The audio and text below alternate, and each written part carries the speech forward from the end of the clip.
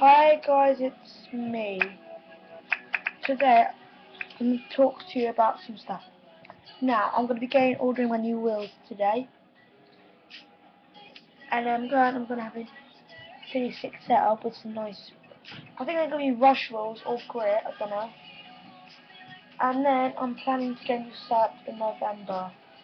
Hopefully, I'm to be set, it's to be a bit expensive, but you know, I'm, I'm to, don't come in and say I'm weird, I'm to stick to the empty deck. Like, I'll, I'll buy a new, um, I'll buy a new empty deck, but it's to be an empty deck. I'm not to buy an LCD because the deck's a bit wide and it's not really good enough my feet because I'm already a size 4 and my feet, my feet are wide.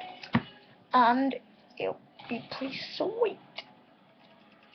Oh yeah, also I'm pretty sick on a skateboard as well. I can't do flare, can't do kick flips and stuff. I'm only, I can only drop in on certain ramps and can,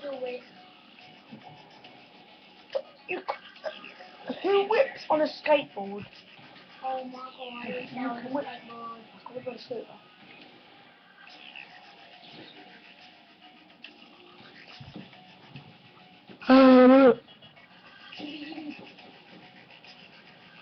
Basically, if you had, if you like skateboarding like me or did buy this game, it's amazing.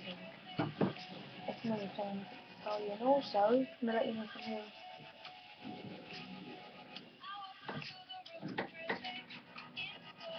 um, See you later.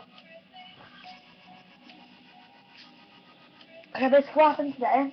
We were we were actually talking about detentions because I was in one today because actually we were singing a song and our song was like I'd be standing next to a camel as one of the lines and I changed it I'd be standing next to a terrorist and I get told off. It's a real like probably the school.